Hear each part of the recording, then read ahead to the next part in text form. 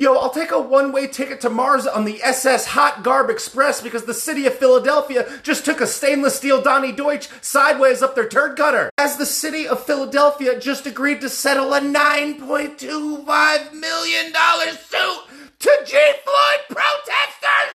Bruh! This $9.25 million will be distributed to over 300 protesters who claim they have physical and emotional damages due to the police response during the protest.